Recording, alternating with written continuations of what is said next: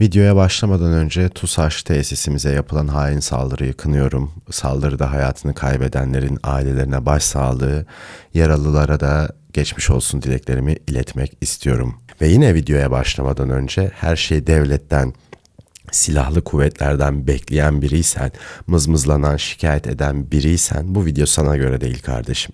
Bu videodan çık, kaderini kabullen ve yoluna bak. Artık ne gelirse kader deyip geç git. Bizim konumuz bu değil.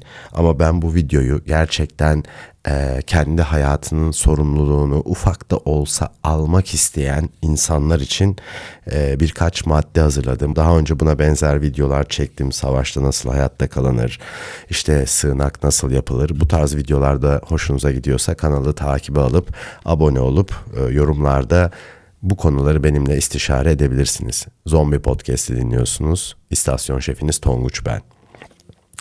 Birinci maddemiz çok önemli arkadaşlar. İlk kısım biraz felsefi olacak. Saldırıyı şahsileştirme.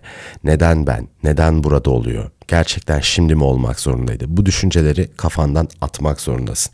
Konu sen değilsin. Olay seninle alakalı değil. İkinci madde asla ama asla gece, gündüz, sahilde, havuzda, dağda, bayırda hiçbir yerde dalgın olamazsın.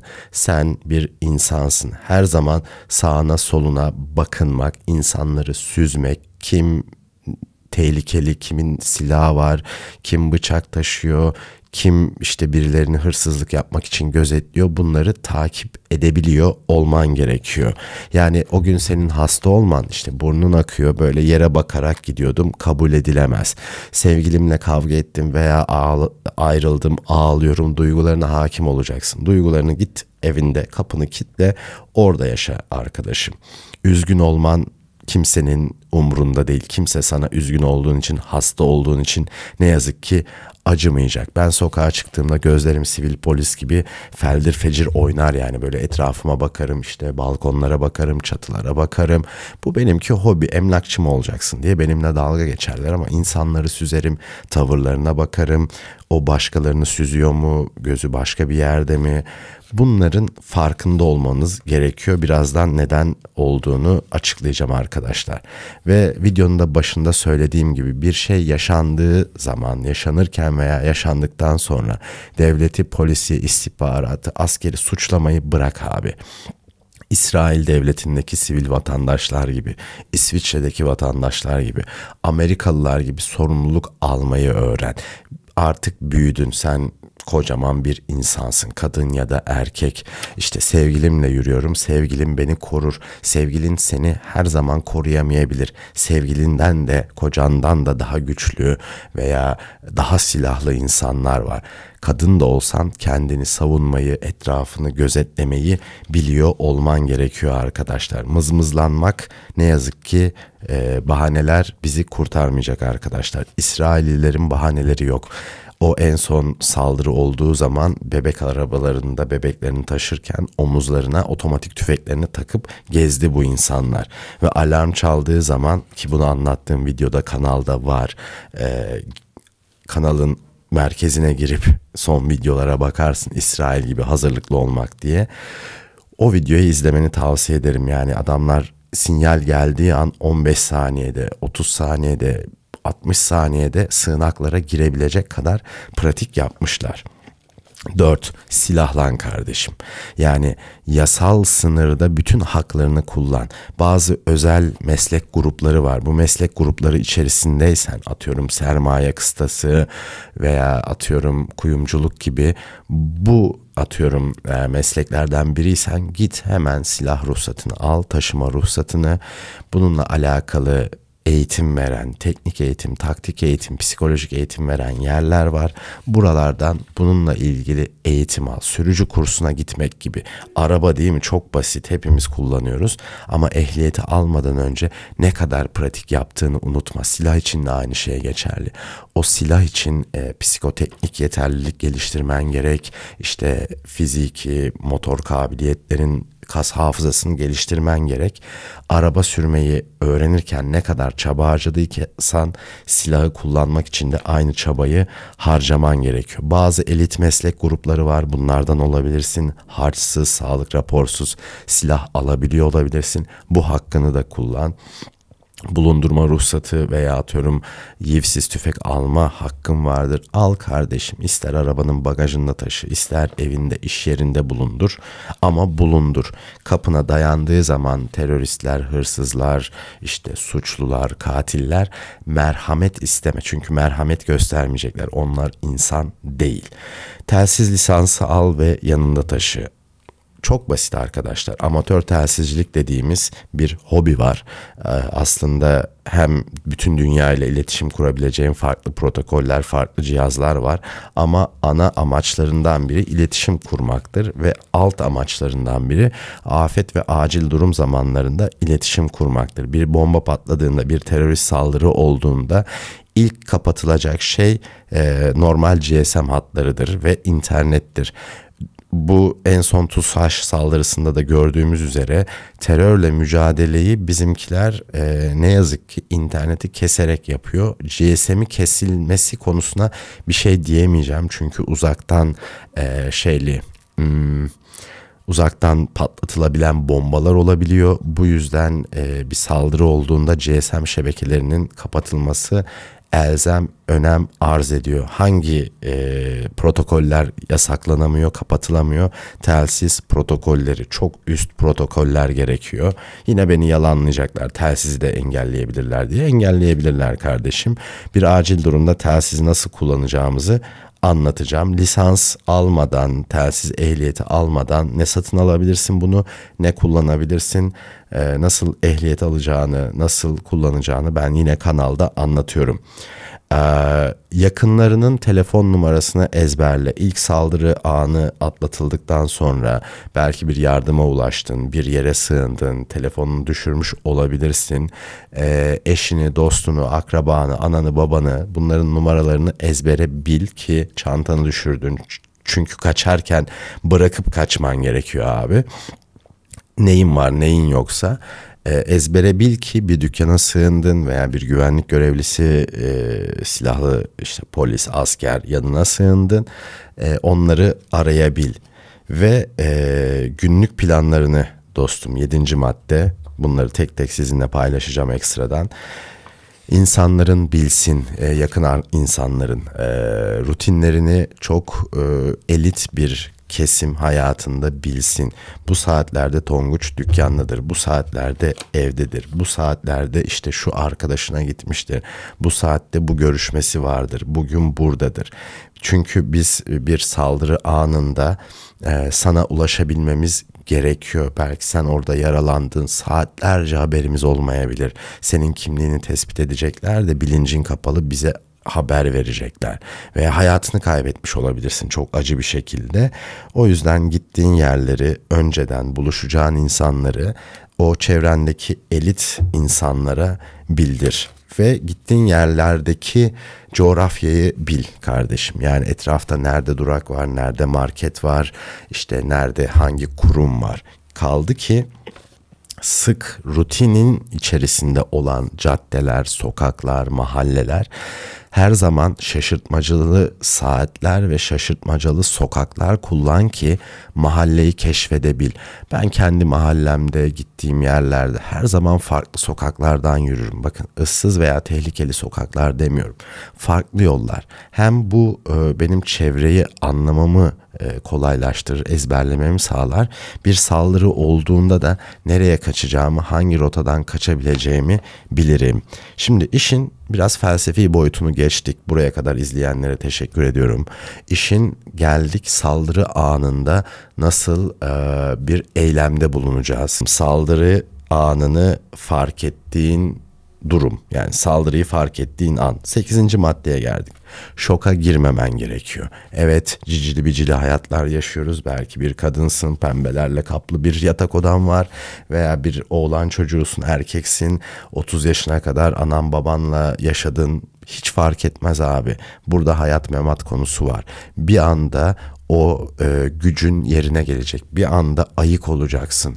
Bir anda e, etrafındaki her şeyi algılayabilir olacaksın. Bu zor bir şey ama bunu edinmek için spor yapabilirsin. Spor yapan insanlar şoka daha zor girer. Daha fazla böyle başına gelecek şeylere, hızlı gelen şeylere alışıktır. Daha önce kaza yaptım belki arabayla ve bunları atlatabilirsin. Bunları da konuşacağız kanalda, farklı videolarda. Mesela silahlı adamlar var. Gördün. Kaçabiliyorsan kaçman gerekiyor mesela. Atıyorum silah sesleri duydun. Saldırganı göremiyorsan abi bir eğileceksin önce. Hedef küçülteceksin. Anlatabiliyor muyum? Etrafına bakınacaksın. Çömeldin ya. Çünkü e, saldırganla burun buruna değilsen belki arkası dönük, belki farklı bir yöne ateş ediyor. Çöktükten sonra saldırganın ters yönüne kaçabilirsin. Canını kurtarabilirsin. Ama çöktün ve saldırganı gördün. Direkt yatman gerekiyor. Çünkü direkt açık hedefsin. Yatıp hedef küçültüp biliyorum bunları yapması çok zor. Yuvarlanarak belki kaçabilirsin ve siper alabilirsin. Arabalar siper almak için çok faydalı değildir. Ağaçlar faydalı değildir. Etrafını biliyorsan bir beton duvar veya bir binanın yanına sığınman gerekiyor açıkçası. Uzmanların dediği bu İsrailli uzmanların. Gerçeği kabullenip o an yaşadığını ya bu neden benim başıma geliyor gerçek mi hayal mi işte halüsinasyon mu görüyorum bunları geçeceksin abi. Hemen kabulleneceksin yaşadığın durumu hemen siper alacaksın. Ben askerdeyken bir uzman çavuştan eğitim alıyordum. Bir gün Osmaniye'de bir saldırı oluyor.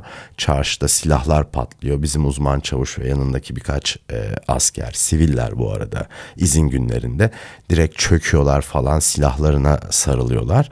Normal sivil vatandaş etrafına bakınıyor. Abi etrafına bakınırsan ölürsün. İletişim kur abi. İletişim, iletişim, iletişim.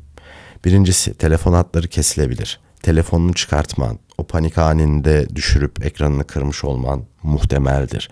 Ama bir telsiz oldukça dayanıklıdır. Ee, Birçok koşulda çalışır. Su geçirmez versiyonları da var. Lisansını aldığın zaman bu telsizi belinde her türlü taşıyabilirsin. Bazı küçük antenleri de var rahatsız etmeyen. O şekilde taşıyabilirsin. Bakın açılması bunun 3 saniye. 3 saniyede açılıyor abi cihaz. Ve iletişim kurman lazım. Ben telsizde birinci kanalda bu çift band bir telsiz. Birinci kanalda benim çok iyi bildiğim bir Antalya rölesi var. Çekim kapasitesini biliyorum. İkinci kanalda da simplex bir kanal var. 433-500 veya 145-500 ayarlı oluyor.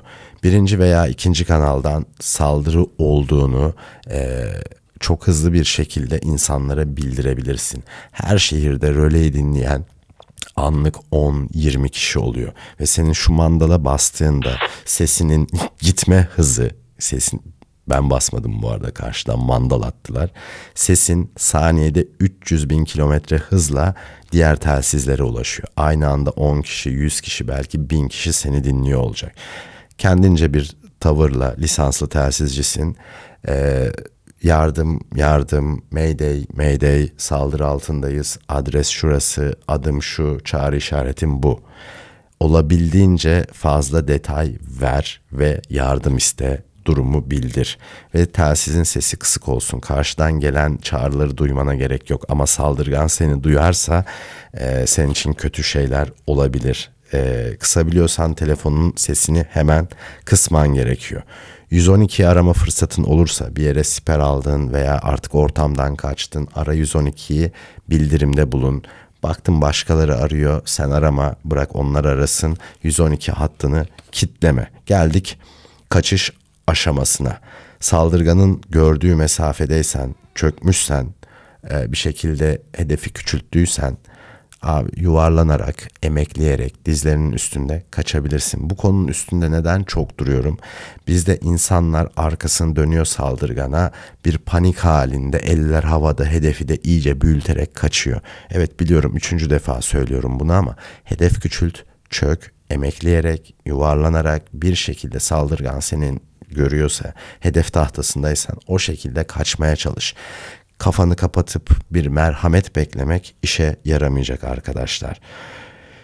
Bu bir bombalı saldırıysa dikkatli ol. Panikleme, Kulak zarlarında problem olabilir. Etraf toz duman, kan gölüne dönmüş olabilir. Biliyorum abi çok zor. Çok defa videosunu izledik. Çok defa bizim geçtiğimiz yoldan İstanbul'da, Ankara'da birkaç saat sonrasında bombalı saldırılar oldu. Düşün her gün yürüdüğün yollar değil mi? İlk paniği atlattıktan sonra kaç abi. Tek başınaysan kaç. Yanında birileri vardıysa onları kontrol et. Onları da yanına al kaç. Yaralılara yardım edeceğim diye gidersen büyük olasılıkla ikinci bombanın hedefi olacaksın. Çoğunlukla küçük bir ilk bombalama yaparlar. Ee, insanlar toplansın yardıma gelsin diye daha sonra ikinci bombayı patlatır bu saldırganlar. Dediğim gibi bunlar insan değil. Ve 13. madde kaçamıyorsan, kapalı kaldıysan, Amerika'daki okul olaylarını izlemişsindir. Birçok güvenlik önlemi almışlar. Mesela şey yapıyorlar böyle e, kapının arkasına demir sıkıştırıyorlar perde indiriyorlar. Direkt e, sınıfı karartıyorlar. Hem sınıfın içinde kim var, kaç öğrenci var bunu göremiyor saldırgan hem kapıyı açamıyor. Siz de aynı şekilde bir tesistesin, bir evdesin veya atıyorum bir kurumdasın. Kaçamayacak bir noktadasın. Kapat kapıyı. Odada ne var ne yoksa barikat kur ve e, ışıkları söndür. Orada artık ölü numarası yapacaksın. Telefonları sessiz alacaksın, telsizleri sessiz alacaksın ve saldırganların gitmesini bekleyeceksin. Başka yapabileceğin bir şey yok. Silah olarak kullanabileceğin bir şey varsa onu da bulup kullanabilirsin. Ve geldik en kötü iki maddeye. Bunu tek madde olarak da söyleyebilirim. Durum çarpışmaya kaldıysa her şeyi silah olarak kullanabilirsin. Her şeyi. Bıçak, sopa, masa, ne bileyim böcek öldürücü, atıyorum termos, her şeyi silah olarak kullanmak zorundasın. Bana merhamet et. Benim çoluğum çocuğum var. Ben işte hamileyim. Bunlara merhamet gösteren insanlar değil bunlar abi. Artık o noktada onurunla çarpışacağın aşamadasın. Bunu söylediğim için üzgünüm. Ben size gidin teröriste dümdüz saldırın demiyorum. Kaçamayacak bir aşamadasın. Benim tercihim onurumla mücadele etmek olur. Ve e, merhamet dediğim gibi tekrar beklemeyin eğer bireysel olarak silahlandıysanız, ruhsatlı bir silahınız belinizdeyse veya dışarıda karşılaştığınız bu olayla aracınızda tüfeğiniz var ve yine kaçınamayacağın bir noktadasın. Artık mücadele edeceksin abi. Yani mücadele edeceksin. Aa polisler gelsin, istihbarat gelsin, özel kuvvet gelsin, çevik kuvvet gelsin. Bekleyemezsin abi. Sorumluluğu alacaksın. Erkek, kadın, genç, yaşlı, çocuk fark etmiyor abi. Bu teröristler halkın korkusundan besleniyor. Biz terör olaylarına karşı savunmasız olduğumuz için hala devam edebiliyorlar. Düşünsene sokakta silahlı bir toplum olsak, yasal olarak, ruhsatlı olarak silahlanmış bir toplum olsak, adamlar makinalı tüfekle e, bir taksiden inip bir terör saldırısı gerçekleştirmeye cesaret edebilirler mi? Düşünsene adam silahıyla iniyor anında 15-20 kişi çekiyor silahlarını delik deşik edersin adamı, yok edersin yani. Şu an biliyorlar ki sokaklardaki insanlar, suçlulara silahsız veya elit bazı meslek grupları dışındaki insanlar silahsız abi. O yüzden bu kadar rahatlar, o yüzden bu kadar yok yere güçlüler ya, yok yere. Üflesen kumdan kaleler. Beni dinlediğiniz için teşekkür ederim. Böyle berbat bir konuyu da anlatmak zorunda olmak ne kadar insan kendini kötü hissettirse de umuyorum bu anlattıklarımın bir faydası olur. Ee, umuyorum. Kendinize iyi bakın. Hoşçakalın. Güvende kalın. Hazırlıklı olun.